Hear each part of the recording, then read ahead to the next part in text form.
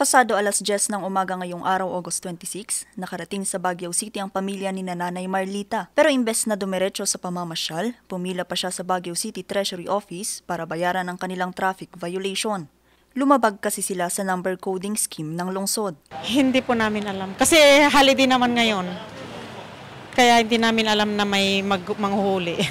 Bagamat hindi raw ito ang kanilang unang beses na mamasyal sa lungsod, hindi pa nila lubos alam ang mga lugar na sakop ng number coding. Ah, pangatlo na po ngayon. Kasi nung dati po ang alam namin dyan lang. Tapos pati doon sa iba pang road pala doon. Ang alam po namin pero ang alam po namin may area lang na na merong manghuli. Ang hindi po namin alam na pati doon pala. Ang residente ring si Tatay Donald lumabag din sa number coding. Uh, holiday, so nalimutan ko coding. Kahit, kahit holiday pala, may coding. So, nakapasok na ako. For some reason, tong holiday, eh, we have to go somewhere. Oo nga, nalimutan ko. Pero the, the lapse is on my part talaga. Ilan lamang sila sa mga lumabag sa batas trapiko ngayong long weekend, maparesidente man o turista.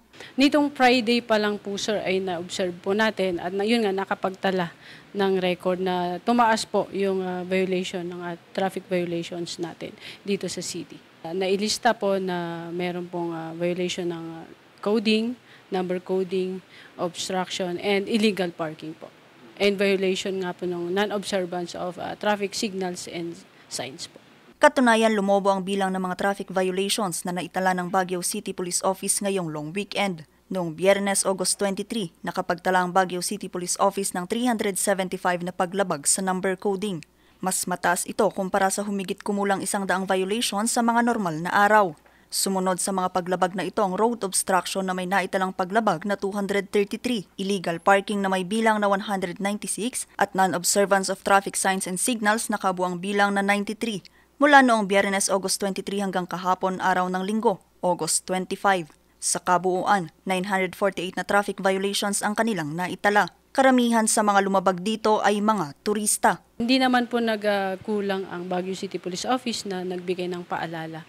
Kasi before pa po mag-start yung long weekend ay nagbigay na tayo ng mga advisories uh, na meron po tayong mga city ordinance, uh, ordinances na ini-implement dito sa city and yun, yun nga yung pag-iingat nila kapag nandito po sila sa ating syudad.